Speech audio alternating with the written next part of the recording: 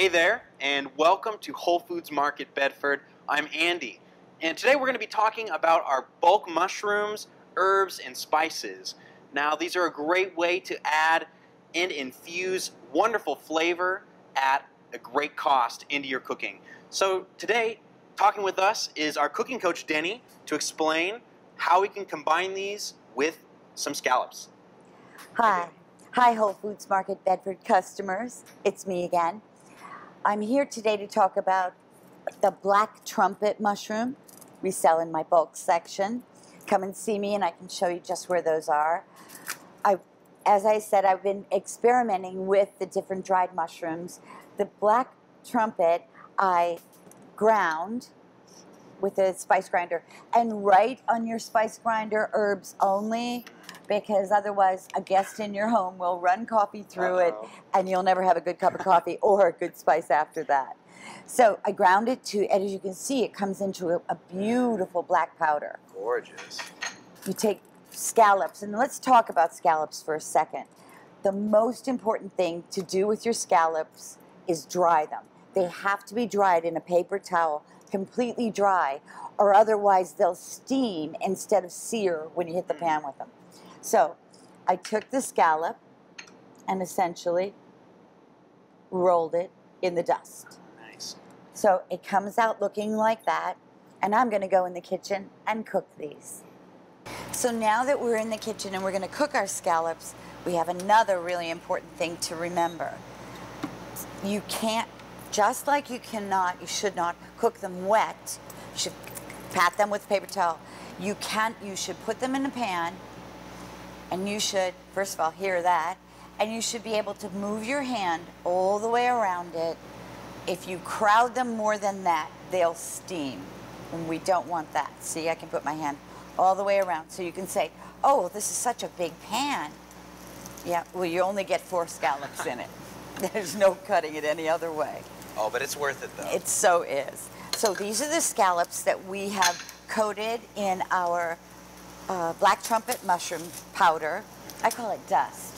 And when you ask for me, we'll talk about why it's dust and not powder.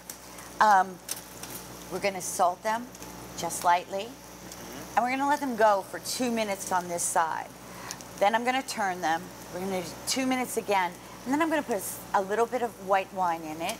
Andy, this is what I was oh. telling you about. Oh, that kind of wine. We sell this here at Whole Foods Market Bedford, and it's my favorite go-to wine. It's also, it, it's affordable, and it's something you can keep in your cupboard all the time, and no one's going to be tempted to drink it, but it works perfectly when you're cooking. I don't want to use it just yet, okay. but that one is the one I like. You can use mirin, you can use any white wine that you like to drink at home. The problem with mirin and fish, in my experience, is mirin runs a little sweet. This isn't, it's dry. Okay. So it's a good choice. I'm gonna turn these now and you'll see oh, it's caused a real coating. It's actually a caramelized coating. I'm gonna do something fun with this. I mean, we always do scallops and scallops are fun, but today it's gonna be a little bit extra, a surprise at the end.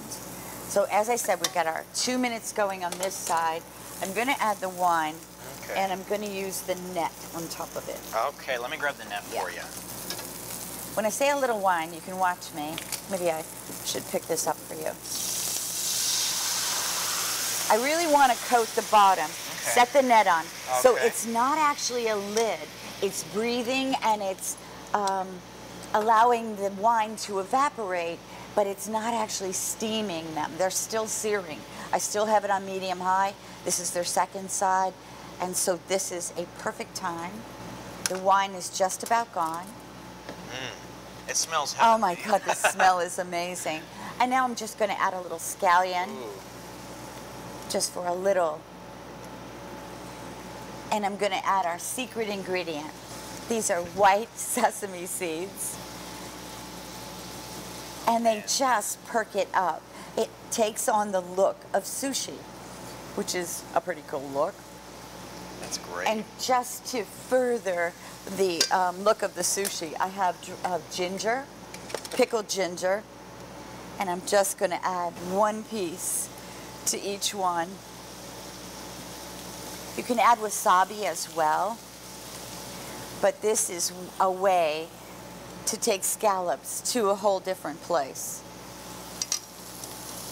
It's fun, it's exciting, it's different, and it's sushi scallop. So, the third important thing about cooking scallops is don't overcook them. They can go to rubber so incredibly fast. And we've all know. done it.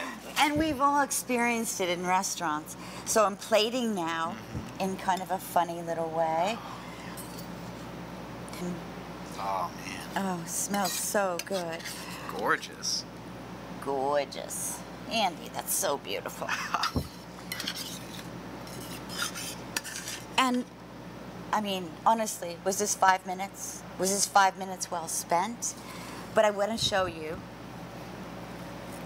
our little scallop. And I want to show you that when you slice it, it looks like a piece of sushi. Oh man. How beautiful is that? And you saw me cook it. It doesn't take 20 minutes to cook a scallop. Cook it quick, cook it hot, cook it with enough space, and make sure you start with a dry scallop, and it'll be perfect every time. This one's sushi scallop. we made that up. I'm making this when I get home from work today. Yeah, you are. Shall we? Shall we? Oh, I'm gonna grab this one. Alright. All right. Mm, Sushi scallop. amazing. Thank you for watching from here at Whole Foods Market, Bedford. I'm Denny. Come see me, come talk to me, ask me about our spices and herbs and dried mushrooms. I'm always around for a chat. Thank you. So long.